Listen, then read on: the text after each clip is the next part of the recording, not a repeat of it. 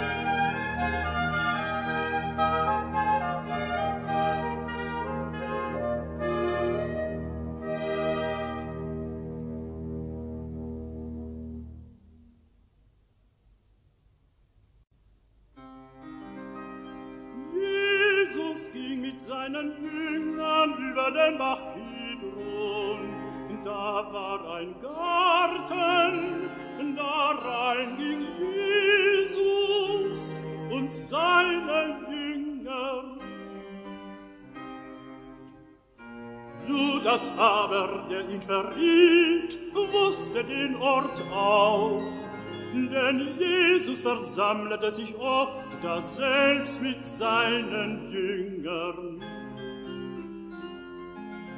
Da nun Judas für sich hatte genommen die Schar und der hohen Priester und Pharisäer Diener, kommt er dahin mit Fackeln, Lampen und mit Waffen.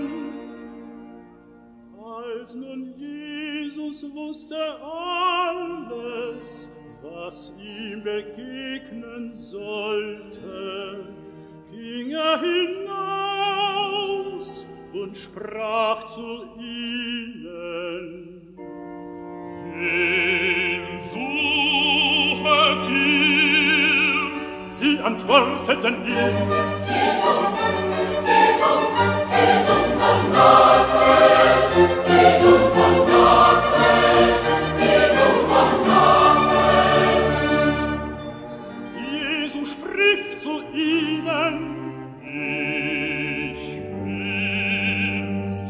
das aber er ihn verriet und auch bei ihnen. Als nun Jesus zu ihnen sprach, ich bin's, wichen sie zurück und fielen zu Boden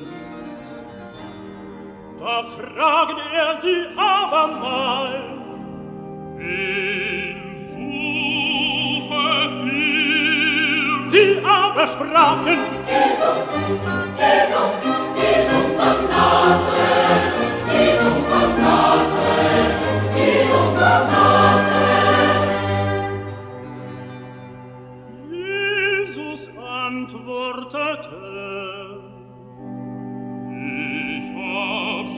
gesang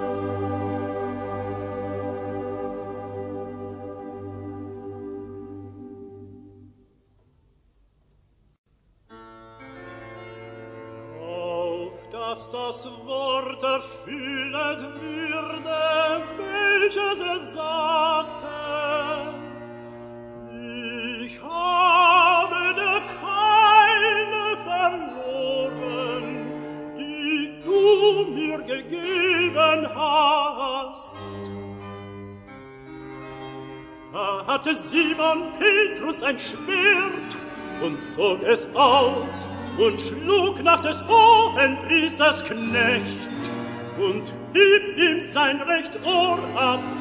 Und der Knecht hieß Malchus. Da sprach Jesus zu Petro, Stecke dein Schwert in die Scheide, denke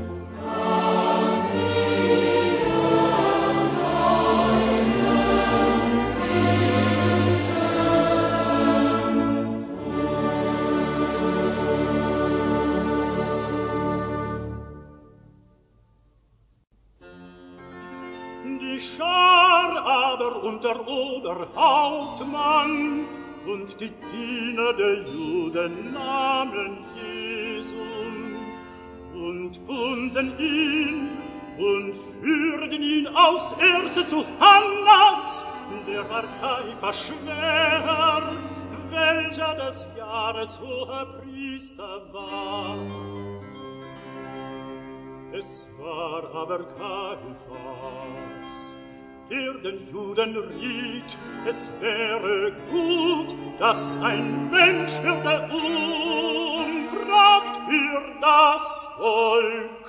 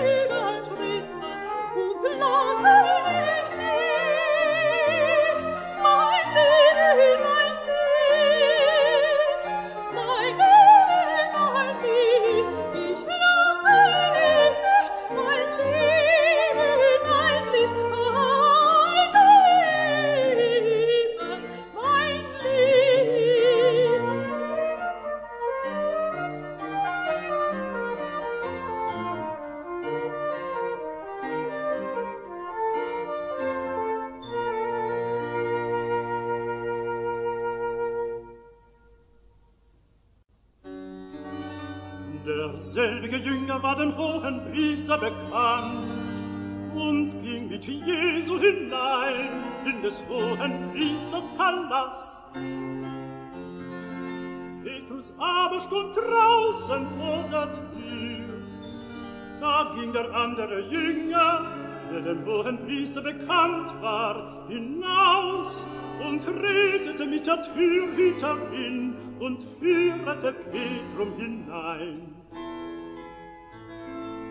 Da sprach die Magd, die Thyhüterin zu Petrum. Bist du nicht dieses Mädchen, Jünger Er sprach, ich bin's nicht.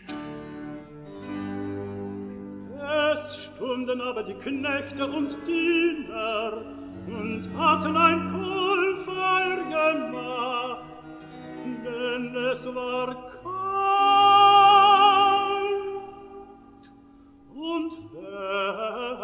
Herzens ihn.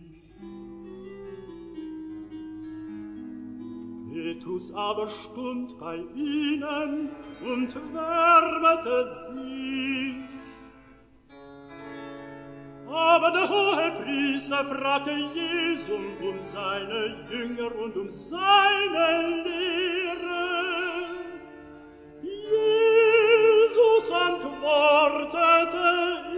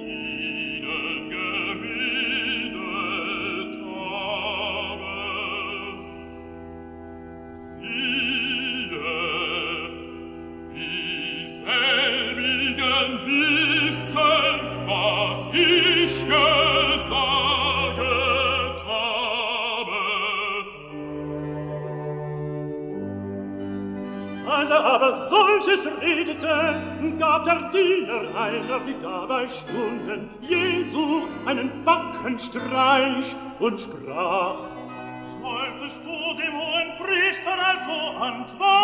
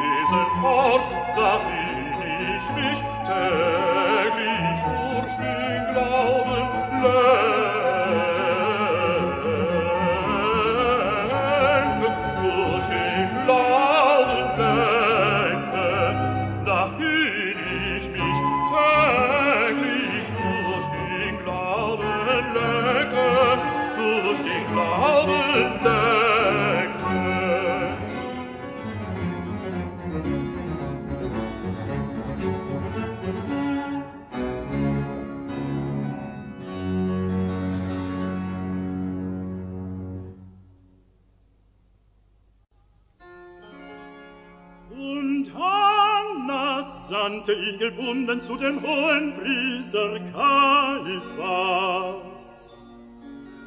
Simon Petrus stund und wärmete sie. Da sprachen sie zu ihm, Bist du er nicht seine Jünger, einer, so du er nicht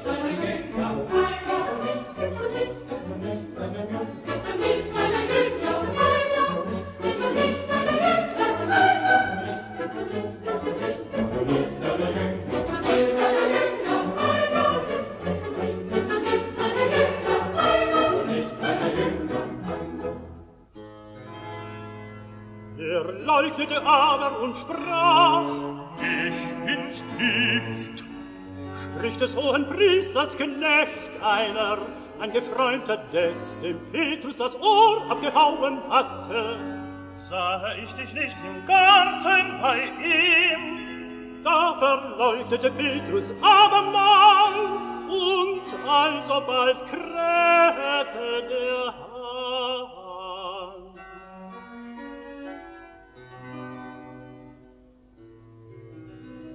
Oh! gedachte Petrus an die Worte Jesu und ging hinaus und war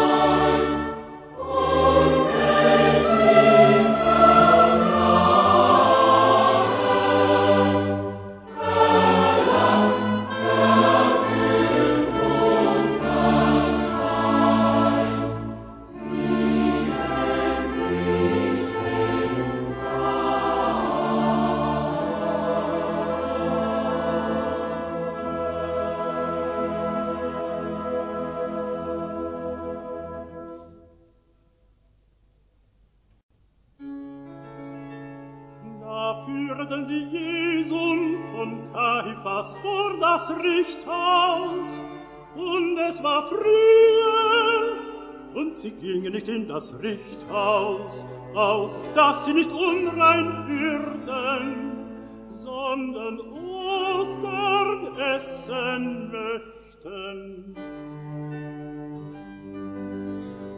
Da ging Pilatus zu ihnen hinaus und sprach, was bringet mit ihr für Klage viele diesen Menschen. Sie antworteten und sprachen zu ihm, Wer hat dieser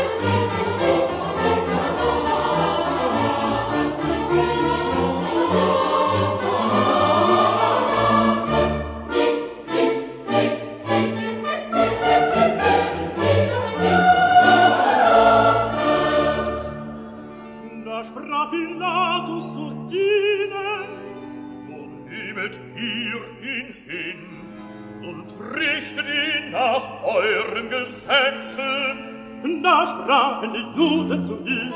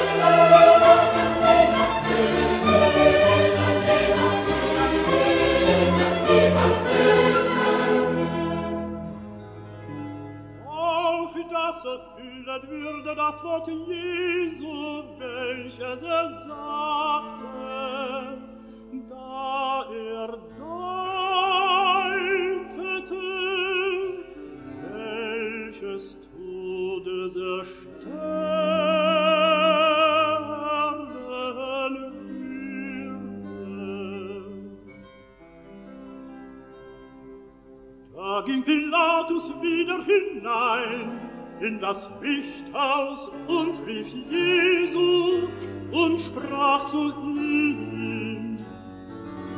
Bist du der Judenkönig? Jesus antwortete,